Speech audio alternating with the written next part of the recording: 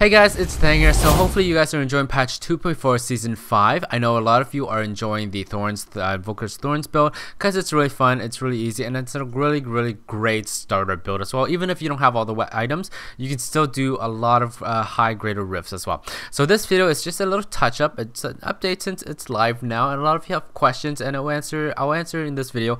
Um, I may miss a few questions, so please let me know. So I won't go into much into the build itself like my, my normal videos since since you pretty much know how it works and what to do. But I'll link the video in the description down below and in the annotation and the video as well. Okay, so if you don't know how it works, just click on it and then you'll find out.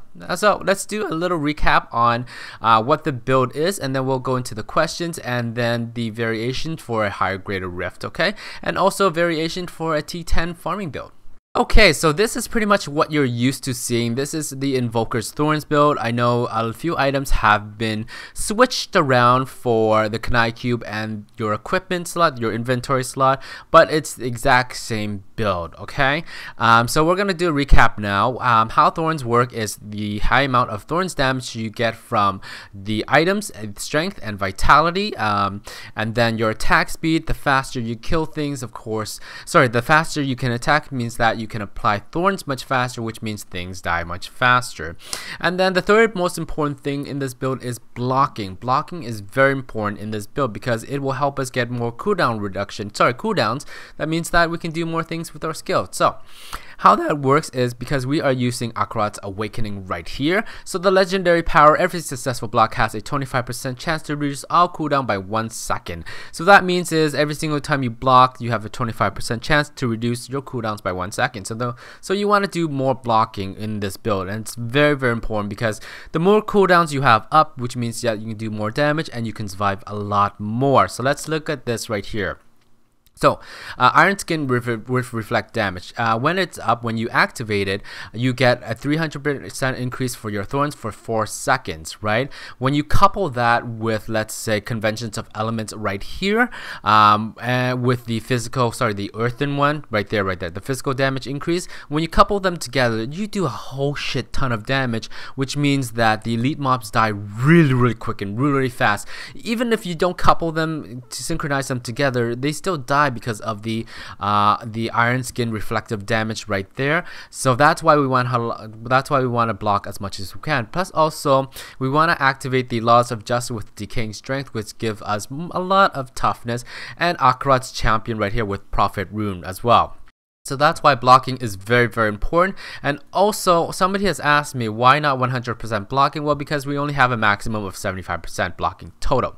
So that's why we can't block 100% of the time. And also, if you play group play, it's very important that you solo things or, or that people don't stun things or that people don't taunt mobs off of you because you want to block as much as you can. Like I said, the more cooldowns you have up means the more damage you can do, which means that you can survive a lot more. Okay, so the next thing is that why not use vitality stats versus strength stats? Uh, the reason is because although the Heart of Iron right here gives you thorns equal to X amount, 300 is the maximum of your vitality. The problem is it's been nerfed since the PTR. It only gives you 300 versus 500. Um, not only that, the vitality stats only give you thorns and uh, HP, right? It doesn't give you that much toughness versus let's say the strength stat which gives you uh, thorns and armor armor is higher toughness i believe than the vitality is but also the fact that when you use Akarat's champion with a prophet rune, your armor is increased. Well, you gain an additional 155%, 150% additional armor while Akarat's champion is active. Um, so that is why you want armor. So you get more toughness, more toughness uh, when you couple it with the uh, law of justice, decaying strength, and the Aquila Cuirass, and a certain other thing as well. I usually have 750 million toughness when I'm playing a higher grade of Rift. So it means that I actually don't die. I actually don't die unless I'm doing really, really stupid things or um, if I hit into the avenging mobs, right? The, that's, that's about it. So that's why you want strength versus vitality. Now, the next thing is that in my PTR video, I use diamond gems. Uh, the reason is because at the current time I couldn't survive. Diamond gems are really, really great for really high greater rifts, right? Let's say if you're using strength gems and you're not able to survive the higher grade rift, then use diamond diamond gems. It's it's really up to you whichever one you want to use. But if you keep dying, what's the point in using strength gems? Right? So diamond gems are great for survivability. That's pretty much it. It's your choice to do. Um, so I think that's pretty much the oh, and also why not use uh, the real Ring of Royal, Grandeur and the Sanguinary Vambrace?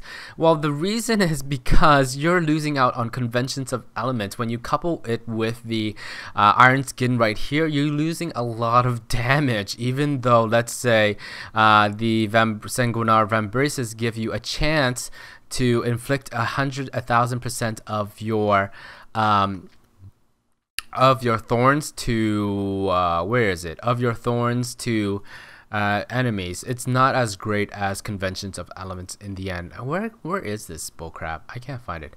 Unless I, I already did. Huh, da, da, da. There we go. Swang, sanguinary uh, Vambrace. It's not it's not a great it's not a great item versus conventions of elements in the end.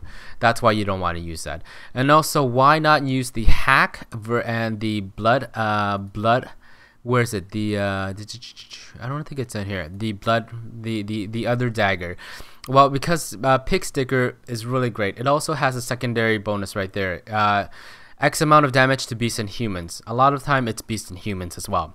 A lot of time I know it's ghosts and demons, but you know, against uh, beast and humans, it's it's a really great weapon. So that's why I use pig sticker. Uh, what else was there? Oh, gem wise, why not use simplicity strength versus the uh, Boyarsky or whatever? These things, these things are one. The Bane of the Stricken is for Rift Guardian bosses. If you were to use the Bane of the Powerful versus the Bane of the Stricken, you're gonna lose a lot of time on the Rift Guardian bosses. You will notice it. I've done I've tried that before. It did not work out. Why not use Simplicity Strength with this Bane of Trap? Well, because Bane of Trap is actually greater. It'll amplify all the damage, not just your main primary primary um, skill. So that's why you want to use these three versus the other threes, the other ones. So those are the questions. Now, for higher greater rifts, we actually need to um, sorry that's supposed to be there. We need to actually just modify our weapons a little bit. So we'll always be using uh, Akarat's Awakening equipped on us. Um, now for the Kanai Cube, we just have to change one single item. So instead of the uh, Vo'Toyias Spiker right here, we actually want to use the Blood Brother right there. So the legendary power grants a 20% chance to block attacks, which means now my block is at 92%, but because it's only 75, I'm at maximum then.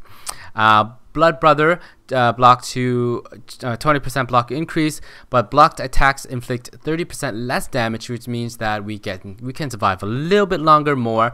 And then after blocking an attack, your next attack inflicts 30% additional damage. So when you couple that with Iron Skin and Conventions of Elements, you're gonna do a whole shit ton of damage. Period.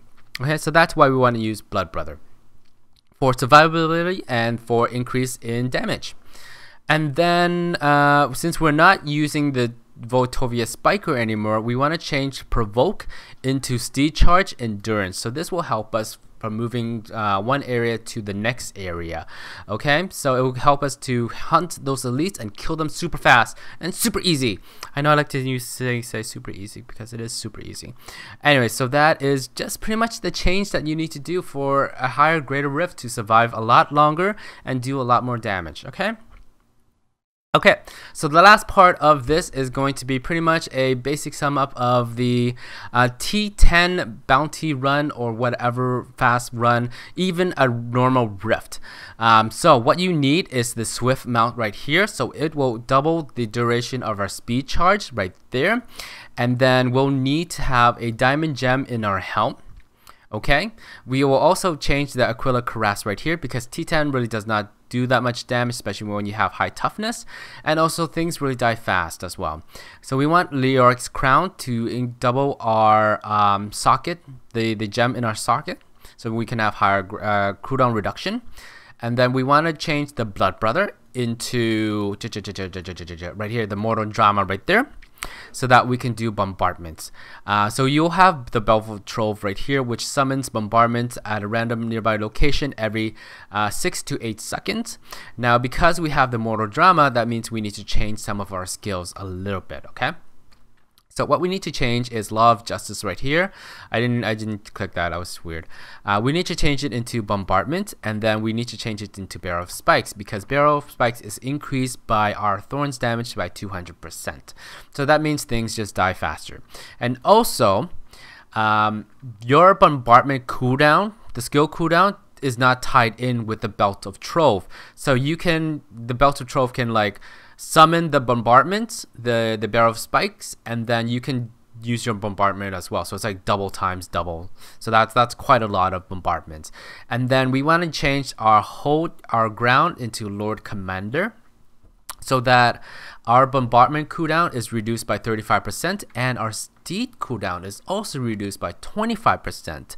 So what that means is when you have let's say around 47 48% cooldown reduction your steed is going you can change your steed chain like this watch your steed is to be forever endless da da da da da da da da da da da da da da da da which means you can move in and out of things super fast you can get to your objective really fast without having to kill any single mob at all and the cool thing about steed charges is that it runs through things not only that you can click you can click on things while being on it and you won't get dismounted.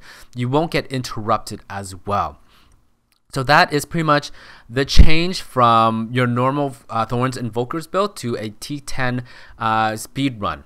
Now also, um, the gems that we're going to use is the normal Boyarsky's gem chip right here for our increase in uh, thorns damage. And then we're going to always going to be using the Bane of Trap because it's a static X amount of damage always. The last gem is up to you. I would not recommend the Bane of the Stricken. The reason is because this is really for the Rift Guardians only. Even at bosses, you know, normal T10 bosses, they die pretty quick. So this is not a, a huge deal. You can use the Bane of the Powerful if you want to, because Bane of the Powerful gives you increased damage to elite by 15% or uh, and then when you kill an elite mobs you kill you get 20, an extra 20% overall to everything for X amount of time. Uh, you don't have to use that. You can even use the molten wildebeest gizzard if you're afraid of dying fast. This give will give you a shield and constantly life per second okay? Now if you don't want to use that you can use other gems too. Where's my gems? Here um, you can use the Wreath of Lightning so you get more movement speed, but you're always on your steed charge, so you might not need that. You can use uh, the Boon of the Hoarder, Gold, and then Speed if you want to. But like I said, those three those uh, those gems will be work perfectly fine. So that is pretty much a change for the T10 mm, uh, bounty uh, farming build. See, I'm just going on my horsey all the time. But that's it. That's it for this video. Thank you guys so much for watching. If you enjoyed this video, a thumbs up would definitely be appreciated. And don't forget to subscribe. If you have any questions or comments, leave them down below. Or come to my stream when I stream and ask me questions there. Because um, I do answer a lot of questions on my stream versus on these videos.